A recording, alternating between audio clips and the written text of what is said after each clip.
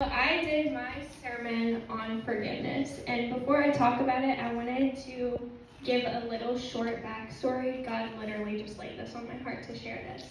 So, um, about a year back, I was literally at my dinner table, and I was, I was thinking about the whole fine arts thing because Ava told me about it, and I was like, and I was like, man, God, I really struggle with forgiveness, and he's like, okay, that's what you're gonna preach about. So I'm like. okay, so, and the reason I wanted to share this with you guys is because your biggest weakness can be so, become someone else's biggest strength.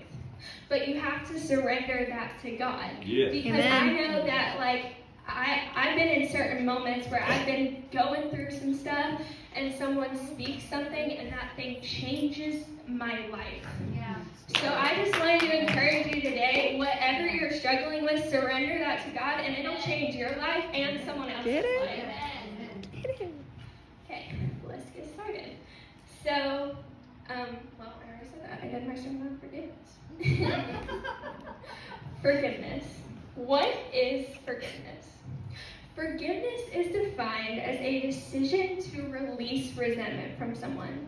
But when it comes to forgiveness, it's not just about forgetting about what someone did, but it is about releasing or loosing something.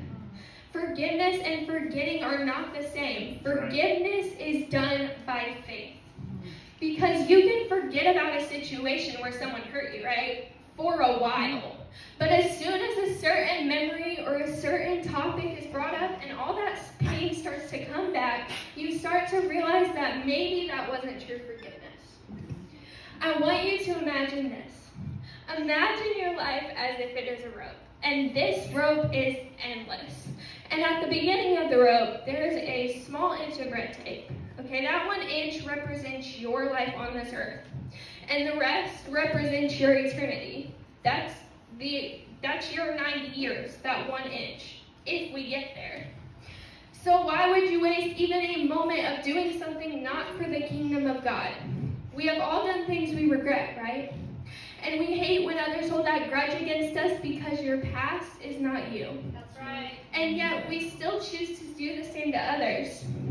The person you're struggling to forgive might have done something just horrible. But think about how Christ has forgiven us. Mm-hmm. We have broken his word, we have broken his trust time and time again. And he forgives us, but yet we still choose not to forgive others.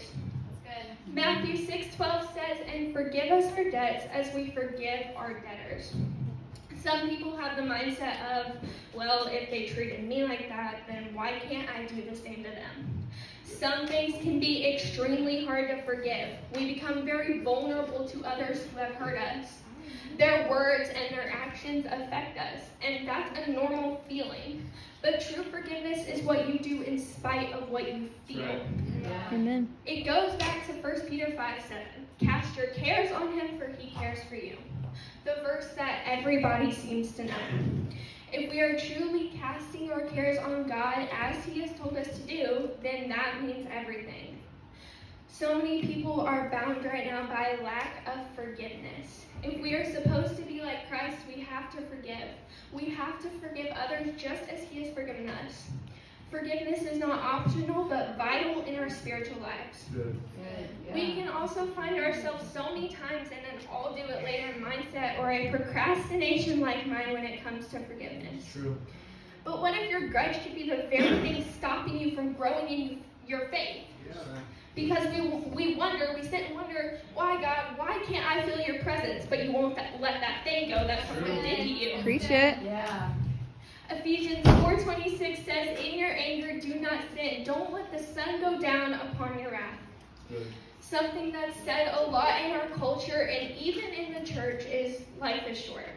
And I agree, it is. So why would you not forgive someone? Sometimes we say we want to serve God, but our actions don't reflect.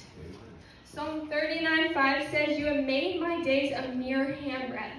The span of my years is as nothing before you. Everyone is but a breath, even those who seem secure. Serving God requires your all, and forgiveness involves that. The reason you're wrestling in other sin is because you're waiting to forgive because you need more time. We are promised so many things in the Bible, but more time is not one of them. Yeah. Mm, By not forgiving, we're settling for so much partialness in our spiritual lives. May I submit to you today that your life on this earth is a lot like that road. Your life is short. Forgiveness should not be optional. Our life is lukewarm when forgiveness is not active constantly. So let it go and give it to God because He is bigger than the problem.